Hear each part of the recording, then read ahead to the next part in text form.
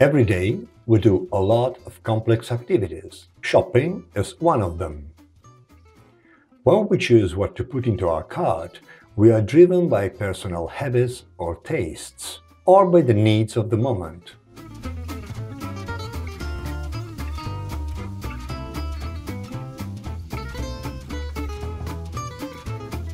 What happens when you forget the shopping list at home? Or when you don't have time to do it? Some help could be useful. TX-Means is an algorithm that can suggest you what to put into your cart. TX-Means writes down your own shopping list and it works automatically without any user intervention.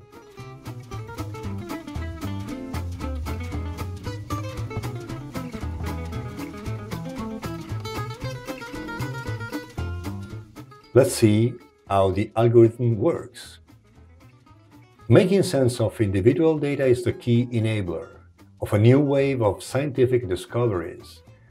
We propose TX-Means, a new clustering method that doesn't need the parameter tuning phase.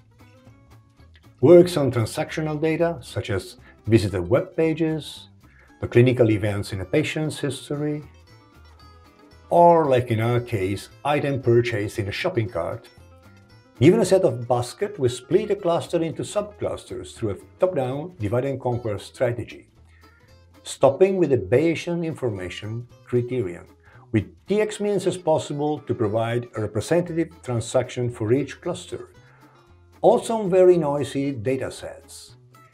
It has a very good running time. Summarizing, the TX-Means algorithm has very good performance, works in a very efficient way, and preserves the privacy of the users.